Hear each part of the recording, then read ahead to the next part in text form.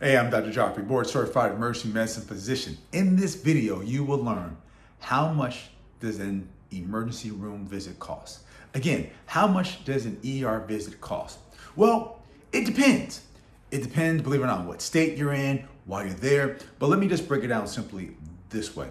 There are three main charges that you will have on your bill. There's a triage fee. That's for the nurse, uh, for the initial nurse who who sees you. They'll take your vitals. They will assess how sick you are. That has a fee. And then there is a facility charge. That's the charge that's often based upon your severity of index score. Basically, how sick you are. In other words, there are, there are five levels. If you're a five, is simply, simply, hey, if this patient had not come in, they would have done just fine. And then a level one is they needed an ambulance, they needed a lot of equipment and a lot of resources. But in answer to your question, how much does an ER visit cost? It usually averages about $2,200 where you are.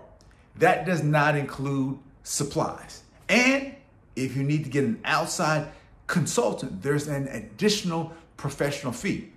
Now let's compare this to an urgent care. The average urgent care cost is uh, it's about $293. One more point, point. Depends on what part of the country you are in. For instance, in say Maryland, it's $673 for an average ER visit.